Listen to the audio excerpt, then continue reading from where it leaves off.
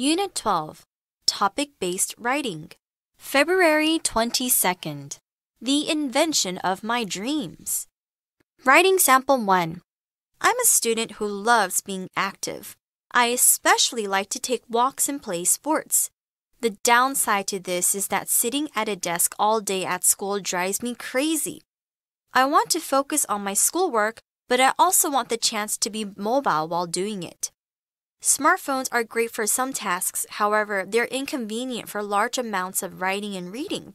I can't count how many times I've wished there were a better way to move and work at the same time. That's why, if I could invent anything, I would create a hover desk. A desk that can hover, follow its user, and stay stable in any position would be an ideal companion for active students like me. The hover desk will let people work anywhere. It, could open up so many possibilities for new ways to work. Were the hover desk to become a reality, I'm sure that students and office workers everywhere would jump at the chance to own one.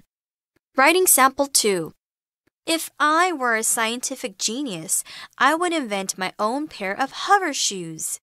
This impressive pair of footwear would get me from point A to point B in no time. They'd work similarly to a hoverboard in that they would help me move around quickly by floating above the ground. Unlike a hoverboard, though, I wouldn't have to worry about keeping my balance or falling off as I sped through the city. Obviously, I make them look good too. Style is really important when you're in high school. Aside from wanting to be the coolest kid in school, I have a couple of reasons for wanting to invent hover shoes. First, I could stop wasting so much time on my commute from home to school and back.